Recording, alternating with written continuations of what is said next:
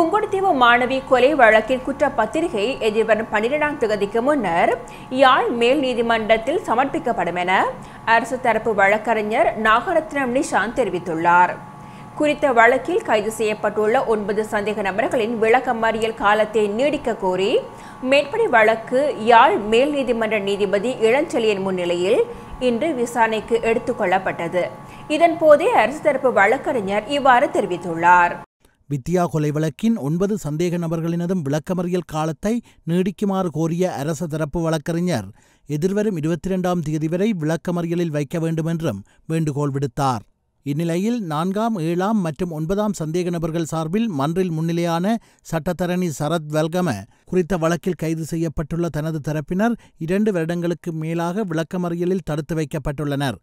ஆனால் சந்தேக நபர்களை இரண்டு வருடங்களுக்கு மேலாக விளக்கமறியலில் தடுத்து வைக்க அனுமதி வழங்கும் அதிகாரம் மேல் நீதிமன்றத்திற்கு இல்லை.